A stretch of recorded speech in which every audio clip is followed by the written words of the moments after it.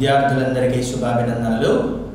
Narayana live classes ద్వారా జరుగుతున్నటువంటి అంశాలన్నిటినీ కూడా చక్కగా నేర్చుకుంటూ అందరూ నైపుణ్యాన్ని పొందుతున్నారని సాధిస్తున్నారని అనుకుంటున్నా. మరి ఇవాటి అంశంలో మనకి తెలుగు విభాగం నుండి ఎనిమిదవ తరగతి అసైన్మెంట్ ట్వంటీ ఫోర్ అభ్యాస పత్రం ఇరవై నాలుగులో గుస్వం అనే పాఠ్యభాగం నుండి ఇచ్చిన అభ్యాస పత్రాన్ని చూద్దాం రండి. గురువుగా ఇక్కడ మరి ఈ క్రింది గద్యమును చదివి ప్రశ్నలకు జవాబులు వ్రాయండి అని అన్నారు. ఇందులో మనం గద్యాన్ని ఇచ్చారు చూడండి. గుర్రము అనే మాట తెలుగు అని అశ్వము అనే మాట సంస్కృతము అని గురువు గారు చెప్పారు. అయితే ఆ రెండు మాటలు వస్తే సంస్కృతము తెలుగు భాష పూర్తిగా తమకు వచ్చేస్తాయని గొన్నడు అంటాడు. మరో శిష్యుడు తిన్నాడు గుర్రం గుడ్డడుకుని బూడిద గుమ్మడికాయను బదరా పది వరహాలు ఇచ్చి కొన్నాడు గుర్రం గుడ్డు పెట్టదని కూడా శిష్యులకు తెలియదు. వారు పరమమూర్ఖులు. వారికి గురుభక్తి ఎక్కువ.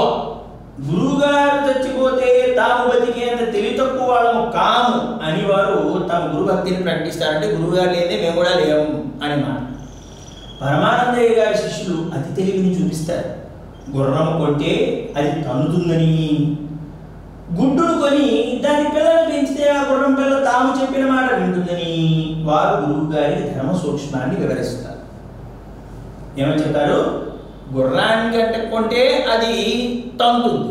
అదే గుర్రం గుడ్డును కొని దాని పిల్ల ఆ గుడ్డు ద్వారా పిల్లని కనుక పెంచినట్లయితే అది వీళ్ళ మాట వింటుంది అనే ధర్మ సూక్ష్మాన్ని చెప్పడం జరిగింది. గురువుగారు తమకు చెప్పిన మాటలు గురువు గారికే తిరిగి వారు అప్పచెబుతారు. గుర్రం గుడ్డు తొందరగా కొనాలని ఆలస్యం అమృతం విషం అని గురువుగారికి గుర్తు చేస్తారు. అంటే ఏమిటి? ఆయనే చెప్పారు ఒకనప్పుడు పాఠంలో దాన్ని మళ్ళీ వారికే తిరిగి వప్ప చెప్పారు అన్నమాట ఆ విధంగా జరుగుతారు ఇక రండి ప్రశ్నల్లోకి వెళదాం. చూడండి శిష్యులు వాళ్ళలో వాళ్ళు మాట్లాడుకుంటున్నారు ఎలా చేయాలి ఏమిటి అనేటటువంటి విషయం. శిష్యులు గురువు గారికి చెప్పిన ధర్మ సూక్ష్మం ఏమిటి? ఇది కనుక చూసినట్లయితే శిష్యులు ఏం చెప్పారు? గుర్రం తంతుందని. గుర్రాన్ని కొంటే గుర్రము తన్నుతుందని. అదే గుడ్డును కొని గుర్రం గుడ్డును కొని దాని ద్వారా పిల్లలు పెంచితే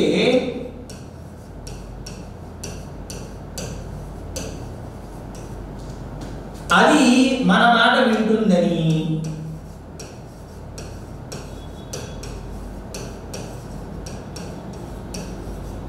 ఇది పిల్లలు చెప్పినటువంటి ధర్మ సూక్ష్మం ఇక తర్వాత అశ్వము అనే మాట ఏ భాషా పదం అని గురువు గారు చెప్పారు?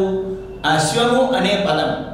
అది అశ్వం అనేటటువంటిది సంస్కృతం అనేటటువంటిది చెప్పారు గురువు గారు సంస్కృత భాషా పదం అనేది చెప్పారు. ఇక తర్వాత గుర్రం పుట్టు అనుకుని బూడిద ఉమ్మడికాయ కొన్నది ఎవరు? తిన్నాడు. గుర్రం గుడ్డు అనుకుని బూడిద గుమ్మడికాయను కొన్నది తిన్నాడు. శిష్యుడు గురువు గారికి ఏమని గుర్తు చేశారు? చివరిలో ఆయన చెప్పిన పాఠాన్ని ఆయనకి అప్పచెప్పారుగా? దాన్ని ఏమని చెప్పారు? ఆలస్యం అమృతం విషం అంటే ఆలస్యం చేస్తే అమృతం కూడా విషమైపోతుంది అనే విషయాన్ని గుర్తు చేశారు. అంటే ఆ ఉండే అవకాశం కూడా చేజారిపోతుంది అనే అర్థంలో దీన్ని వాడతారు అన్నమాట ఇక తర్వాత పరమానందయ్య శిష్యులకు గురువు పట్ల ఉన్న భావాన్ని ఏమంటారు? గురువుగారు ఉంటేనే మేము ఉండగలం. గురువుగారు లేకపోతే మేము ఉండలేము అంటే ఇది వారి పట్ల ఉన్నటువంటి అమితమైన ప్రేమ అలాగే శ్రద్ధ అలాగే భక్తి. దాన్ని ఏమంట? గురు భక్తి ఉన్న భావాన్ని ఏమంటాము? గురు భక్తి అని అంటాము. ఈ విధంగా మనకి సమాధానం తెలుసుకోవచ్చు. ఇక తర్వాతి అంశంలో ఈ క్రింది ప్రశ్నకు జవాబు రాయండి అన్నారు. గుష్వం నాటకాన్ని కథగా సొంత మాటల్లో పది వాక్యాలు రాయండి అని అన్నారు. పరమానందయ్య గారు చాలా పేరు పొందినటువంటి గురువు. ఇక్కడ ముందు ప్రస్తావన. ఈ నాటకం చాలా ప్రధానమైనటువంటి హాస్యముతో కూడుకుని ఉన్నది. అలాగే గురువు పట్ల శిష్యులకు ఉండవలసినటువంటి ప్రేమ ఎలాంటిది అని తెలియజేస్తుంది. ఇలా ప్రస్తావన చేసిన తర్వాత విషయ ప్రవేశం పరమానందయ్య గారు చాలా గొప్ప గురువు.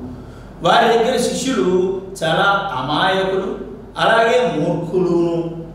వారి ద్వారా గురువు గారికి కొద్దిగా తలనొప్పి తెప్పించినా వాళ్ళు చేసేటటువంటి ఏదైనా ఒక పని వలన ఒక మహత్కార్యం సిద్ధించబడుతుంది. అయితే ఇక్కడ చెన్నడు గొన్నడు తెన్నడు అనేటటువంటి శిష్యులు వాళ్ళకు గురువు గారు భాషాపద అశ్వము గుర్రాన్ని గుర్రం మీద తిరగాలి అనేటటువంటి కోరిక ఉండడం గురువు గారికి అయితే దాని ద్వారా ఆ కోరికను తీర్చుకోవాలని శిష్యులు ఎలాగూ చేయలేరు కనుక కనీసం ఆ పదాలైనా నేర్పిద్దామని ప్రయత్నిస్తే వాళ్ళకేమో నోరు తిరగకపోవడం. చివరికి గురువుగారి కోరికను తీర్చడం కోసం చెప్పి గుర్రం గుడ్డును కొని తీసుకొద్దాము. ఎందుకంటే గుర్రాన్ని కనుక కొంటే అది మన మాట వినదు. అందువల్ల గుర్రం గుడ్డును తీసుకువద్దాము అని ఆలోచించడం. తద్వారా ఒకనొక శిష్యుడు ఆలని పది వరహాలిచ్చి ఇచ్చి గుడ్డును కొనడం గురువుగారి దగ్గర తీసుకుని ఆ తర్వాత ఆ గుర్రం గుడ్డు అనుకుని ఏమన్నాడు? బూడిద గుమ్మడికాయను కొండం. అది చాలా జాగ్రత్తగా రెండు తీసుకువస్తూ ఉంటే ఒకటి ఆల్రెడీ పాడవడం ఇంకొకటి కర్ర కట్టి తీసుకొస్తూ ఉంటే జారి పగలడం జరిగింది.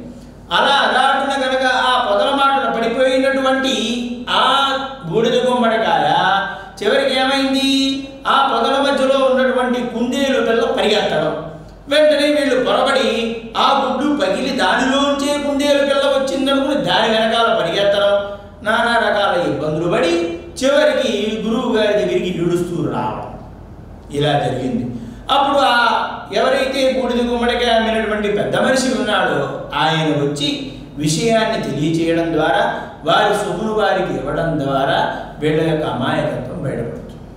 అంటే గురువుగారు శిష్యుల పట్ల అవ్యాజమైనటువంటి ప్రేమ ఈ విధంగా ప్రస్తావన విషయ ప్రవేశము విషయ వివరణ అలాగే ముగింపు ఈ అంశాలతోటి చక్కగా కథను పది వాక్యాల్లో మనం పూర్తి చేయవలసి ఉంటుంది. అయితే ఇక్కడ ఈ కథను వ్రాసినటువంటి క్రమంలో మనం విన్నాం కదా ముగింపులో ఏమని ఉండాలి?